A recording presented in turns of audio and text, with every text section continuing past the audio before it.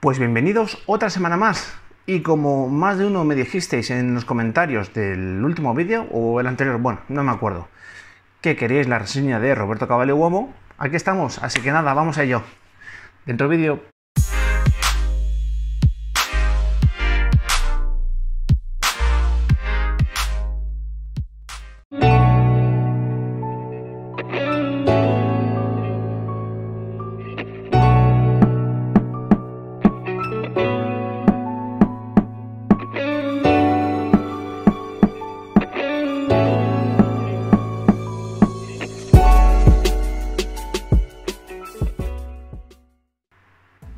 Roberto Cavalli Uomo.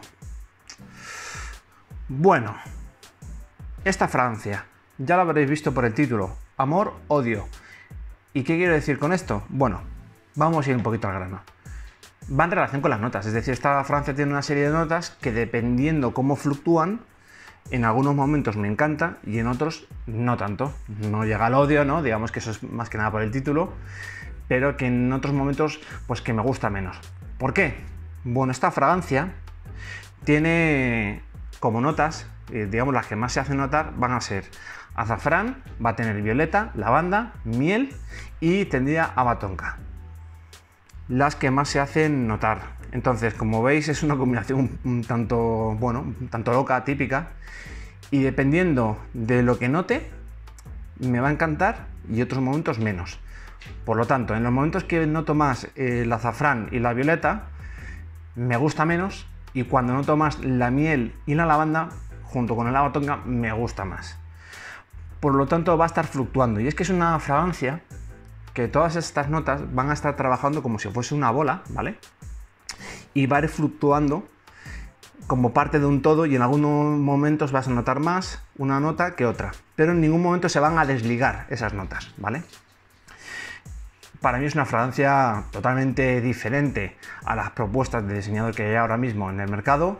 Es disruptiva, es muy original. Si te quieres desmarcar, sin duda es muy buena fragancia. Una fragancia tirando más para clima frío, aunque se puede usar en, en primavera, se podría llegar a usar, en tarde-noche o en otoño también, invierno. En verano ya un pelín menos, quizás puede ser un poquito cargante para los demás. Está claro que aquí las fragancias una las usa cuando le da la gana, pero hay que tener en cuenta el, bueno, lo que vas a causar a los demás, ¿no? Para no molestar. Así que bueno, como ya os comenté en el vídeo de fragancias, del top de fragancias para eventos, es una fragancia que tiene un toque para eh, un evento formal.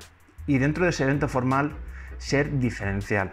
¿Significa esto que fuera de un evento formal queda mal? No, la puedes usar en un evento eh, formal y también de manera casual, pero tampoco muy, muy sport, ¿vale? Es decir, eh, bueno, os voy a poner algunos eh, outfits que van bien con esta fragancia, ¿vale?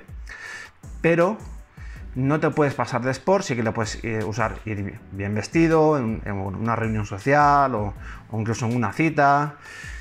La puedes usar y vas a quedar bien. Y no solo vas a quedar bien, sino que va a ser diferente. Para mí es lo bueno que aporta esta fragancia, que no es lo típico que está ahora en la perfumería de diseñador, que puede ser bueno o malo. Cuando es lo típico de la perfumería, pues sabes que es más genérico y es más posible que vayas a agradar a, bueno, pues a la gente. Pero para mí lo importante es ser diferente, agradar, pero ser diferente, crear un impacto, una memoria olfativa en los demás. Y esta fragancia lo logra. Para mí, ya os digo, una maravilla. Duración, pues en mi caso han sido unas 7 horas más o menos, ¿vale? 7 horas, proyectando las dos primeras horas, tres primeras horas, se nota bastante, ¿vale? Suelta buenas ráfagas, una proyección media. Es una fragancia que no os van a oler a, 3 metros, pero a, bueno, a 2 metros sí os pueden oler, ¿no? Y bueno, pasadas esas 2-3 horas ya va quedando poquito a poco a ras de piel. Y como os digo, muy diferencial. Totalmente diferente para mí a la mayoría de lo que hay ahora mismo en el mercado de diseñador.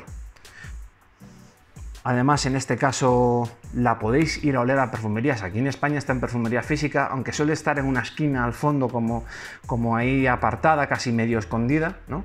Pero la podéis oler. Y os aconsejo que si la vais a oler, no lo hagáis del strip olerla en piel. ¿Por qué? Pues por lo mismo que os he comentado para que veáis ese tipo de ráfagas que tiene, como en los momentos se nota más a lo mejor eh, ese azafrán y esa violeta y en otros más la lavanda y la miel y para que podáis experimentar eso en vuestra propia piel. Y bueno, realmente es lo que tengo que decir esta fragancia. Me gusta, en ocasiones no tanto, pero es una fragancia que yo creo que causa un impacto y una memoria olfativa en, los demás y que te va a hacer diferente. Como fragancia firma, puede valer, pero en el calor extremo no la veo yo. Pero en frío sería muy buena fragancia firma, totalmente diferencial. Así que nada, pues lo dicho.